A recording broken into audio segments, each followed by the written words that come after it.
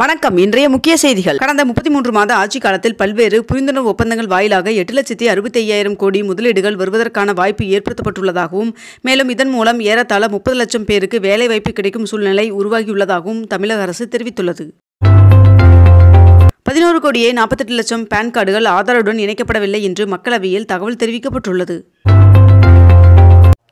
திமுக விசிக இடையே வருகின்ற பிப்ரவரி பனிரெண்டாம் தேதி பேச்சுவார்த்தை நடத்தப்பட உள்ளதாக தெரிவிக்கப்பட்டுள்ளது.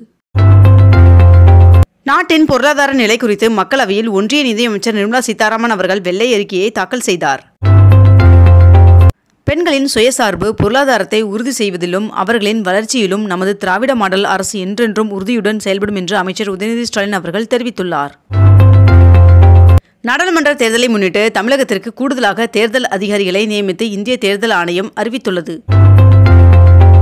சென்னையில் இயக்கப்பட உள்ள ஓட்டுநர் இல்லா மெட்ரோ ரயில்களின் உற்பத்தி தொடங்கப்பட்டுள்ளதாக தெரிவிக்கப்பட்டுள்ளது. இன்று தை அமாவாசை மற்றும் வார விடுமுறை தினங்களை கருத்தில் கொண்டு பொதுமக்களின் வசதிக்காக தமிழகம் முழுவதும் சிறப்பு பேருந்துகள் இயக்கப்பட உள்ளதாக தெரிவிக்கப்பட்டுள்ளது. பத்து ஆண்டுகால பாஜக ஆட்சியில் பல்வேறு பின்னடைவு ஏற்பட்டுள்ளதாக காங்கிரஸ் தலைவர் மல்லிகார்ஜுன் கார்கே அவர்கள் கருப்பு அறிக்கை வெளியிட்டுள்ளார். கரூரில் உள்ள அமைச்சர் செந்தில் பாலாஜி அவர்களின் வீட்டில் அமலாக்கத்துறை அதிகாரிகள் திடீர் சோதனையில் ஈடுபட்டுள்ளனர். வங்கிகளில் குறுகிய கால கடனுக்கான ரெப்போ வட்டி விகிதத்தில் மாற்றமில்லை என்று ரிசர்வ் வங்கி அறிவித்துள்ளது. மேலும் ஆறு புள்ளி ஐந்து சதவீதமாக நீடிக்கும் என்றும் தெரிவிக்கப்பட்டுள்ளது. டான்செட் தேர்வுகளுக்கு விண்ணப்பிப்பதற்கான கால அவகாசம் வருகின்ற பிப்ரவரி பனிரெண்டாம் தேதி வரை நீட்டிக்கப்பட்டுள்ளது.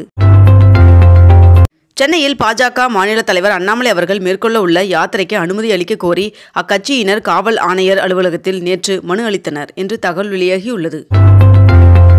மத்திய அரசை கண்டித்து நாடாளுமன்ற வளாகத்தில் திமுக மற்றும் கூட்டணி கட்சி எம்பிக்கள் கருப்பு சட்டை அணிந்து ஆர்ப்பாட்டத்தில் ஈடுபட்டனர்.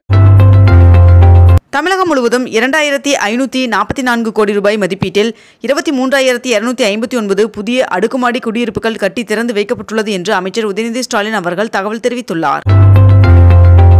அனைத்து மாநகர போக்குவரத்து பேருந்துகளையும் முழுமையாக பரிசோதித்த பின் இயக்க வேண்டும் என்று போக்குவரத்துறை அமைச்சர் சிவசங்கர் அவர்கள் உத்தரவு பிறப்பித்துள்ளார். பீகார் முதல்வர் நிதிஷ்குமார் அவர்கள் நேற்று பிரதமர் நரேந்திர மோடி அவர்களை சந்தித்து பேசினார். அரசு பள்ளிக்கு மீண்டும் பூர்ணம் அம்மாள் அவர்கள் மூன்று கோடியே ஐம்பது லட்சம் ரூபாய் மதிப்பிலான நிலத்தை வழங்கியுள்ளார். சென்னையில் தாம்பரம் போரூர் சூரப்பேடு ஆகிய மூன்று இடங்களில் ஆம்னி பேருந்துகள் நின்று செல்ல அனுமதி வழங்கப்பட்டுள்ளதாக தெரிவிக்கப்பட்டுள்ளது. சென்னை நந்தம்பாக்கம் வர்த்தக மையத்தில் இன்று முதல் வருகின்ற பிப்ரவரி பத்தாம் தேதி வரை பன்னாட்டு கனித்தமிழ் மாநாடு நடைபெற உள்ளதாக தெரிவிக்கப்பட்டுள்ளது. அமைச்சர் செந்தில் பாலாஜி அவர்கள் தொடர்ந்த வழக்கின் தீர்ப்பு வருகின்ற பதினைந்தாம் தேதி வழங்கப்படும் என்று சென்னை மாவட்ட முதன்மை அமர்வு நீதிமன்றம் தெரிவித்துள்ளது. டிஎன்பிஎஸ்சி குரூப் ஃபோர் தேர்விற்கான இலவச பயிற்சி வகுப்பு டாக்டர் அம்பேத்கர் கல்வி மற்றும் வேலைவாய்ப்பு பயிற்சி மையத்தின் சார்பில் சென்னையில் வருகின்ற பிப்ரவரி பதினொன்றாம் தேதி தொடங்க உள்ளதாக தெரிவிக்கப்பட்டுள்ளது.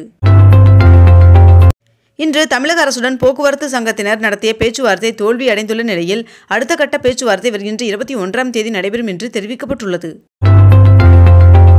தமிழகத்தில் பிப்ரவரி பதினொன்றாம் தேதி வரை வறண்ட வானிலை நிலவக்கூடும் என்று வானிலை மையம் தெரிவித்துள்ளது.